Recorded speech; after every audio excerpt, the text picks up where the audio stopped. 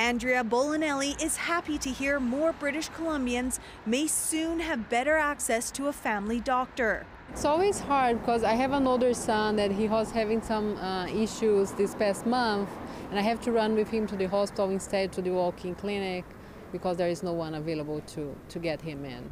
Dr. Renee Fernandez says the province's new funding plan will go towards what's called longitudinal care, giving patients long term care with the same doctor. We know that having a family doctor that knows not only your medical health, but the circumstances of your life has been shown to have better health outcomes for patients, lower costs for the system, and ultimately a better experience of care for everyone.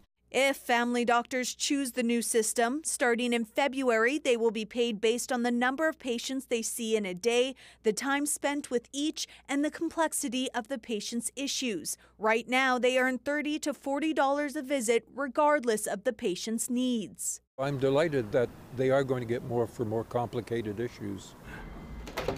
Hi, it's Dr. Fernandez. Out of 6,800 family doctors in BC, mm-hmm. Fernandez says less than half of them are able to provide it under the current system. If someone comes in to see me and I have to tell them that they have a life-changing diagnosis, I'm not rushing them through in 10 or 15 minutes. And, and but that means that I'm running behind and I'm actually not making enough to keep that clinic afloat as a result of it. But now they won't have to do that anymore.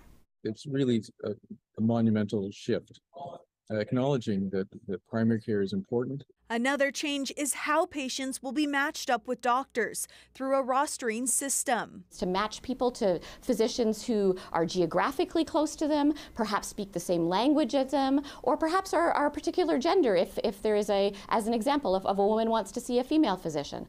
Fernandez adds it will allow family doctors to hire more staff, handle rising costs, and hopefully entice more physicians to practice family medicine. Janella Hamilton, CBC News, Vancouver.